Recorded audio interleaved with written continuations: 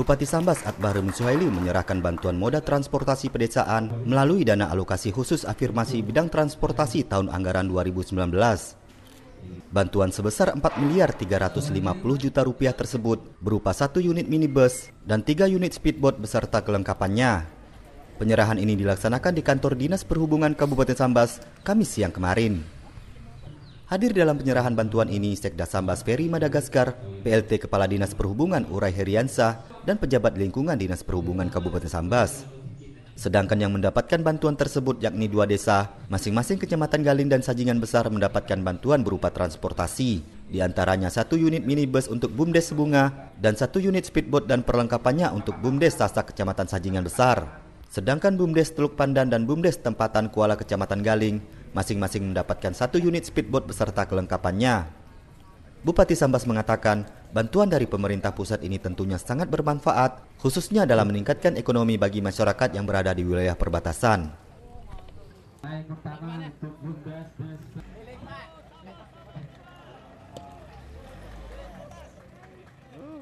Pertama, kami mengucapkan terima kasih kepada Menteri PDT yang telah mengabulkan permohonan kami untuk memberikan bantuan kepada desa-desa yang ada di perbatasan. Yang pertama berupa minibus satu, tentu ini akan sangat-sangat bermanfaat untuk masyarakat perbatasan yang langsung berbatasan dengan negara Malaysia. Tentu uh, bisa mengangkut penumpang, bisa mengangkut masyarakat, untuk angkutan masyarakat juga membawa hasil-hasil tanam dan kebun mereka. Saya pikir ini sangat-sangat bermanfaat. Yang kedua, uh, wilayah Galing diberikan uh, speedboat untuk uh, karena kampung mereka adalah kampung yang berada di bantaran sungai sehingga ini juga sangat berguna dan bermanfaat manakala mereka harus ke puskesmas membawa orang sakit, ibu hamil atau orang yang membutuhkan bantuan segera sehingga bisa langsung menggunakan speedboat yang ada. Begitu juga untuk bisa uh, mengantar uh, hasil kebun, hasil tanam mereka ke pasar juga menggunakan uh, transportasi sungai. Tentu saya berharap kepada masyarakat untuk memelihara, menjaga, menggunakan secara baik dan tetap me, uh, membetulkan jika rusak ya, tetap apa me, memelihara ya supaya tetap bisa digunakan dan difungsikan dalam waktu yang cukup lama. Selamat bagi penerima bantuan ini. Terima kasih. PLT Kepala Dinas Perhubungan, Urai Heriansa menjelaskan, bantuan moda transportasi pedesaan ini diserahkan kepada BUMDes dan dikelola sepenuhnya oleh BUMDes untuk kepentingan masyarakat desa setempat. Sesuai tujuan diberikannya bantuan tersebut, apabila dikelola dengan baik dapat meningkatkan mobilitas masyarakat dalam kebutuhan transportasi.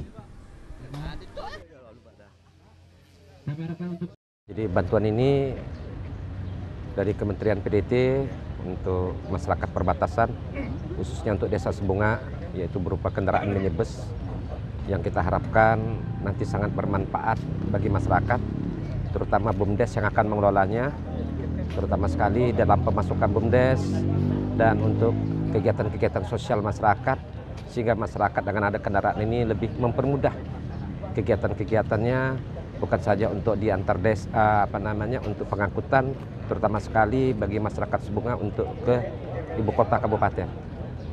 Kemudian yang untuk bantuan kepada tiga desa yang ada di wilayah kecamatan Galing itu eh, satu di untuk speed itu satu desa di kecamatan Sajingan, dua desa di kecamatan Galing. Ya kita harapkan semoga ini seperti yang disampaikan oleh uh, yang menerima bantuan bahwa desa-desa mereka ini berada di tepi sungai dan tentu banyak manfaatnya terutama bagi ibu-ibu hamil kemudian untuk kegiatan-kegiatan sosial masyarakat yang tentunya kita harapkan mudah-mudahan ini bermanfaat dan seperti apa disampaikan Pak Bupati mohon untuk dipelihara dengan baik supaya ini dapat berlangsung lama sehingga bermanfaat bagi masyarakat ramai.